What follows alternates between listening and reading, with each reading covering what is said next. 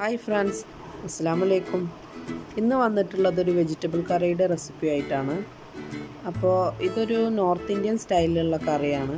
ചപ്പാത്തിയിലേക്കോ അപ്പത്തിലേക്കോ ഒക്കെ നല്ലൊരു കോമ്പിനേഷനാണത് അപ്പോൾ ഇതെങ്ങനെയാണ് തയ്യാറാക്കുന്നതെന്ന് നമുക്ക് നോക്കാം. ഇതിനായിട്ട് രണ്ട് മീഡിയം സൈസിലുള്ള സവാള എടുത്തിട്ടുണ്ട്. പിന്നെ മൂന്ന് ചെറിയ തക്കാളി. വലുതാണെങ്കിൽ രണ്ടെണ്ണം മതിയാകും. പിന്നെ രണ്ട് പച്ചമുളക്. മൂന്ന് ഗ്രാമ്പു രണ്ട് ഏലക്ക ഒരു ചെറിയ കഷ്ണം പട്ട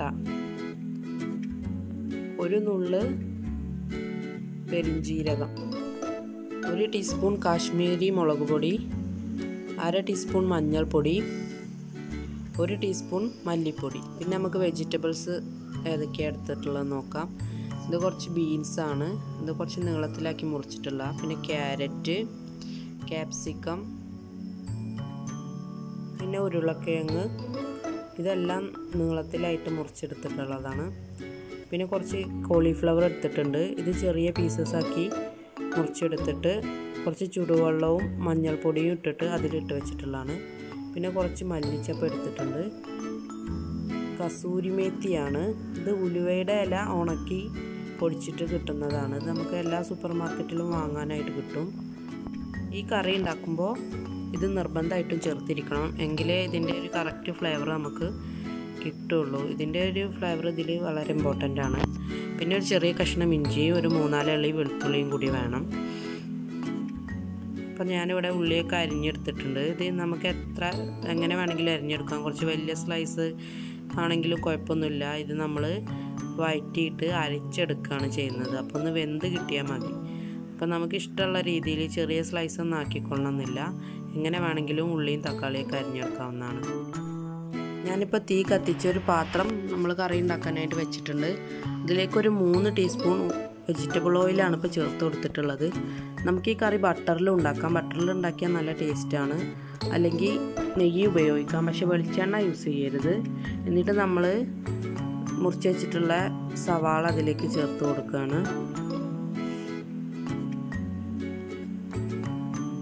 ഒന്ന് ചെറുതായിട്ടൊന്ന് വഴറ്റിയെടുക്കാം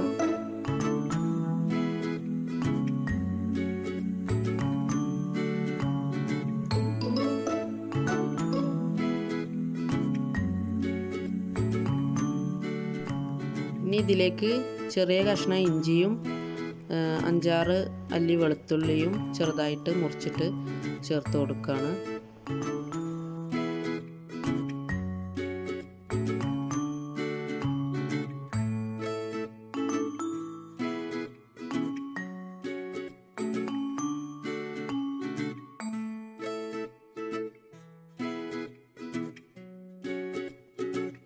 ഇനി ഒന്നുകൂടി ഒന്ന് ഇളക്കി കൊടുക്കാം. എല്ലാം ഒന്ന് വാടിയിട്ട് വരുമ്പോൾ നമുക്കിനി തക്കാളി ചേർത്ത് കൊടുക്കാം. മൂന്ന് ചെറിയ തക്കാളി അരിഞ്ഞിട്ട് എടുത്തിട്ടുള്ളതാണത്.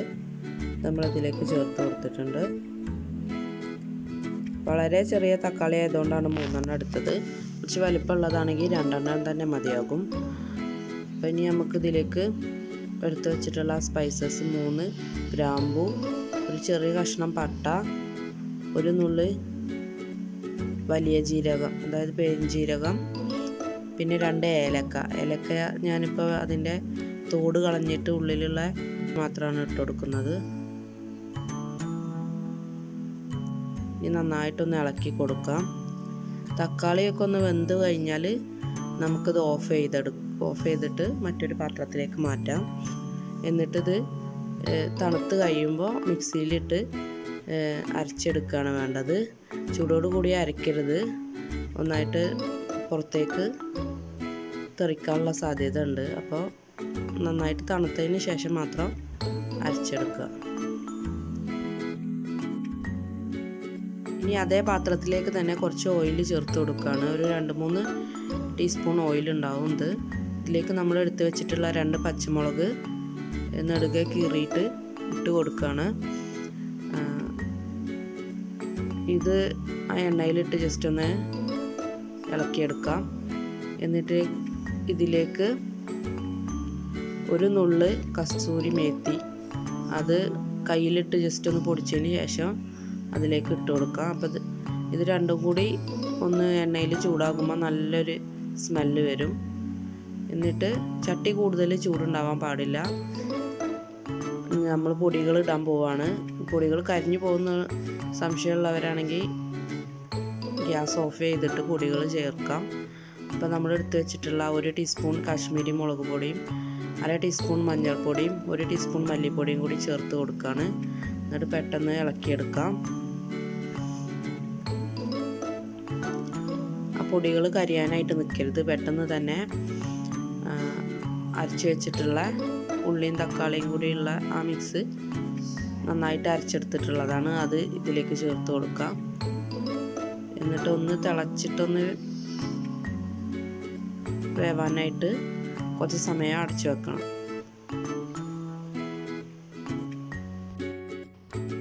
ഇപ്പോൾ ഒരു രണ്ട് മൂന്ന് മിനിറ്റിന് ശേഷം തുറന്നിട്ടുള്ളതാണ്.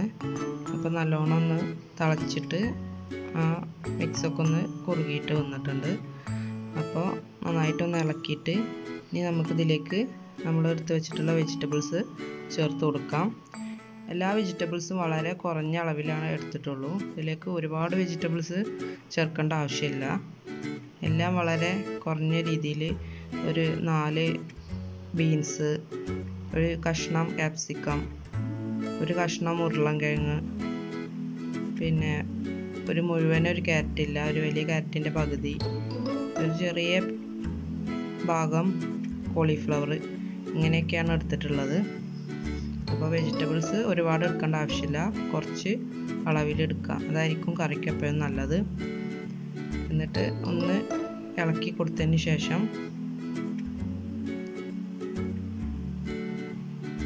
ആവശ്യത്തിന് ഉപ്പ് ചേർത്ത് കൊടുക്കേണ്ടതാണ്.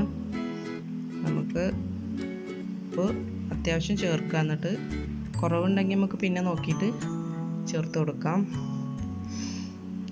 കുറച്ച് ചൂടുവെള്ളം കൂടി ചേർക്കുന്നുണ്ട്. ഈ വെജിറ്റബിൾസ് ഒക്കെ ഒന്ന് വെന്ത് കിട്ടാനായിട്ടുള്ള ഒരുപാട് ചേർക്കേണ്ടതില്ല. ഒരു അര ഗ്ലാസ് ഒരു അര മുതൽ മുക്കാൽ വരെ ഗ്ലാസ് വെള്ളമാണ് വെച്ചിട്ടുള്ളത് ഇനി നന്നായിട്ടൊന്ന് ഇളക്കിയ ശേഷം ഉപ്പൊക്കെ കറക്റ്റാണോ എന്നൊന്ന് നോക്കാവുന്നതാണ്.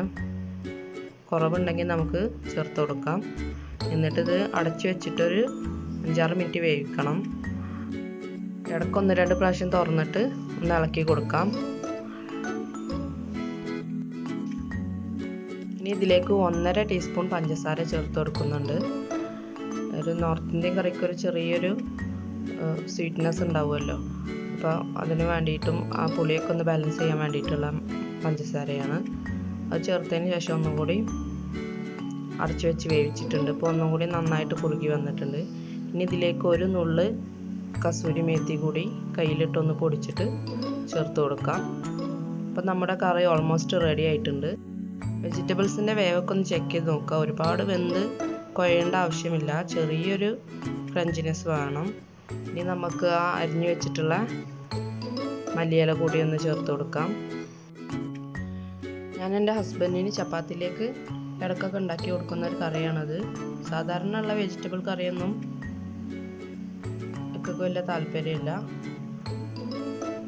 അപ്പം നമ്മുടെ കറി ഇവിടെ റെഡി ആയിട്ടുണ്ട്. വളരെ ടേസ്റ്റി ആയിട്ട് കഴിക്കാൻ പറ്റുന്ന ഒരു വെജിറ്റബിൾ കറിയാണത്. കുറുമയൊക്കെ അധികം താല്പര്യമില്ലാത്തവർക്ക് എന്തായാലും ഇഷ്ടപ്പെടാൻ സാധ്യതയുള്ള ഒരു കറിയാണ്. ഞാൻ ഈ കറി ഒരു സർവിങ് ബൗളിലേക്ക് മാറ്റിയിട്ടുണ്ട്.